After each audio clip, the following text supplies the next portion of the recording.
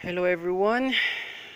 So uh good afternoon sa iyo sa inyo lahat, especially sa mga ka-Neptune diyan. This afternoon ah, yan, magpapalit ako ngayon ng carb. Okay? So uh medyo marami-rami ata akong gagawing video ngayon habang pinapatuyo pa natin yung epoxy na inilagay natin sa paligid ng air filter. Kasi umiikot yung air filter eh. Tawag nito ito siya.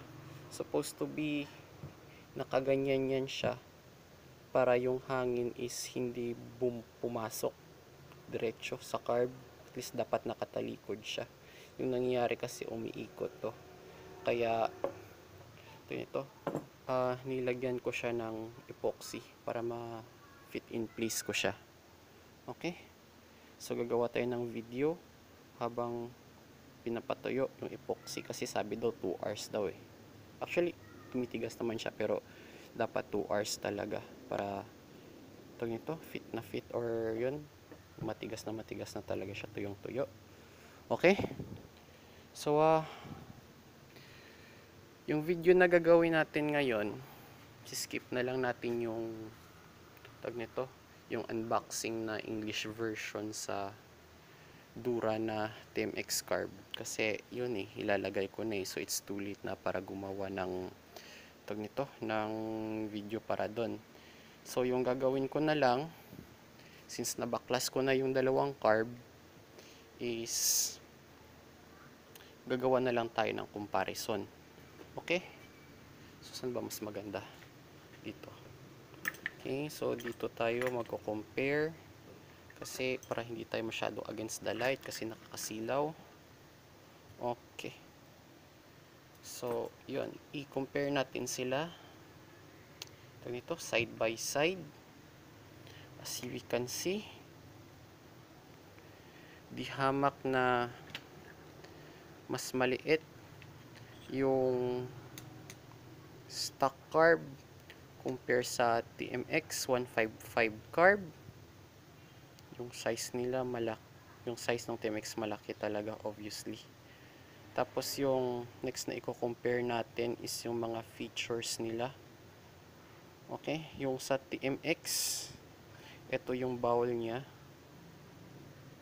Gananin natin. So side by side compare natin yung car yung size ng ball. Ito sa stock ng Neptune is pabilog unlike sa TMX pa square. At manonotice mo sa size pa lang ng carb nagkakatalo na. Ang laki ng size ng carb ng TMX compare sa Neptune. Okay? So yun. So plus 1 tayo dito sa TMX carb Okay, so ito yung choke niya na pag-usapan na natin to last video. Hindi na natin to i-compare kasi tina, as we can see, tinanggal ko na yung choke ng stock carb ko. So, yun. Yung next natin pag-usapan is yung filter. So, sa filter, sa TMX, bibili ka pa ng tag nito, ng fuel filter unlike sa stock carb ng Neptune na may built-in na siya na fuel filter ito ito ayan. Fuel filter yan. Okay naka built-in na yung fuel filter hmm. okay. Tapos so plus 1 tayo dito sa stock carb ng Neptune. And then secondly is yung Venturi size. Ito yung importante eh gaano kalaki yung venturi niya. So hindi natin makita side by side. Hirap. Ganyan na lang. So uh, obvious na obvious. Masyadong malaki yung diferensya kasi itong stock carb ng Neptune is 22 while yung TMX carb naman is tawag nito 27. So, ang laki ng diferensya niya. Ito pa yung slide ng stock carb. So, kung i-compare natin, kung i-compare natin, yan.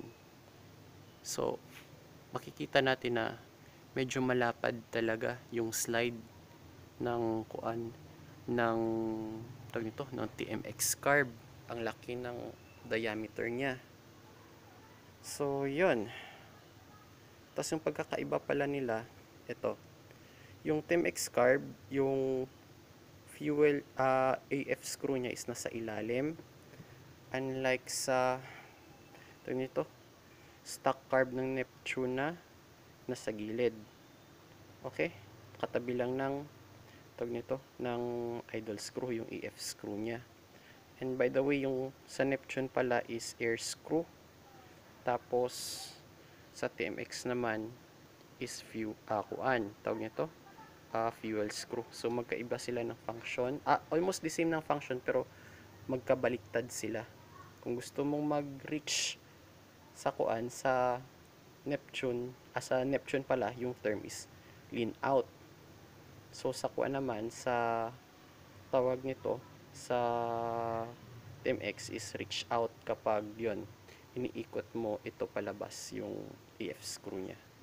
Okay? So, ano pa ba yung i-compare natin? By the way, yung filter pala ng Neptune is kasyang-kasya sa filter ng Team X Carb. Kahit i-kuan mo pa sila, kahit i-plug and play mo lang, kahit yung stock car, ay yung kuan yung stock air filter. Tapos sa mga nagtatanong kung plug and play ba yung Team X Carb? Okay, ito papakita ko sa inyo. Ito yung manifold ng Neptune. Ito naman yung Team X Carb natin. So, ilalapat lang natin dyan mamaya. Isa-screw natin siya. As we can see, tawag nito um, nalapat naman siya yan hindi siya tumatama pero yung magkakaproblema ka lang siguro kapag nagpapatune up ka na? Yes kapag nagpa-tune up ka kailangan mo talagang tanggalin yung carb para yun nito ma-open mo tong uh, in, tog nito uh, tapet tapet cover or valve cover ba to anong tawag dito para sa intake. Okay? So plug and play siya. Yun medyo medyo tuyo na. So mamaya ikakabit natin yan. Kakabit natin to so far yun lang naman yung pagkakaiba nila eh. Yung size ng bowl tapos size ng venturi then location ng tag nito ng EF screw nila. Tapos magkabaliktad din pala sila ng location sa kuan sa tag nito sa Neptune. Yung idle screw nila is ah idle screw ng Neptune nasa kaliwa while nasa kanan naman yung sa Team X okay so ano pa ba So, yun. I guess I'll end my video here. Ay, ito pa pala. Yung needle. Speaking of needle, ito, ito yun. Yung needle ng ito nito, ng stock carb ng Neptune is 3 pin setting. Yung sa Team X carb is 5 pin setting. Just like sa other video ko na pinakita. So, 5 pin setting yun. Okay?